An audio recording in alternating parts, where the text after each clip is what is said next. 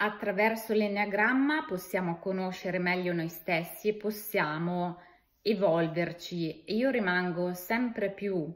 eh, stupita, sempre più colpita dall'efficacia reale e concreta dell'enneagramma. In particolare oggi vi voglio parlare di un aspetto forse poco conosciuto dell'enneagramma, ossia che l'enneagramma ci aiuta a capire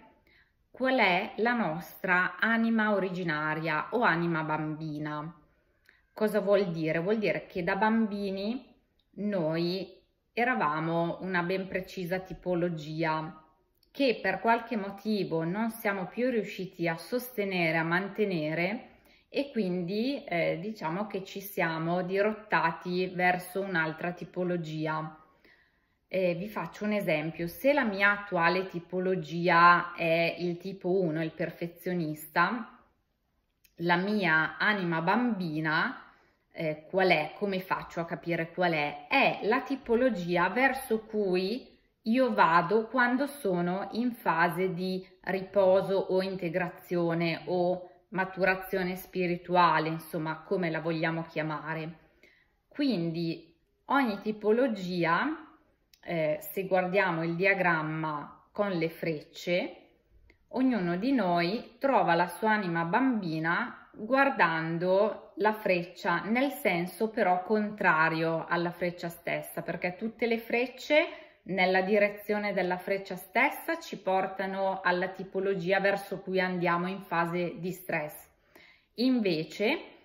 eh, tutte le frecce ma seguite nella direzione contraria alla freccia ci portano alla tipologia verso cui andiamo in fase di integrazione o riposo. Per cui, ehm, solo per darmi un assaggio, eh, di quello che spiegherò più nel dettaglio nei prossimi video, il tipo 1 mh, mm, vuol dire che da bambino eh, era un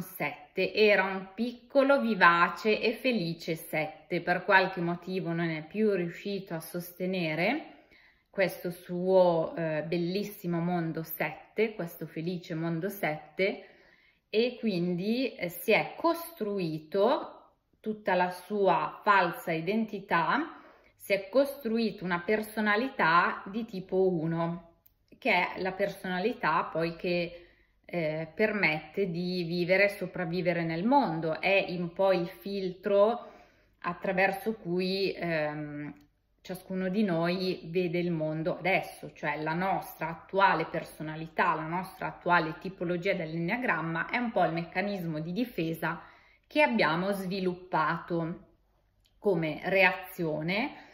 eh, per eh, appunto vivere e sopravvivere nel mondo, ma noi all'origine eravamo eh, un altro tipo, quindi eh, quest'altro tipo è la nostra anima bambina e corrisponde appunto, come ho detto, alla tipologia verso cui andiamo in fase di integrazione.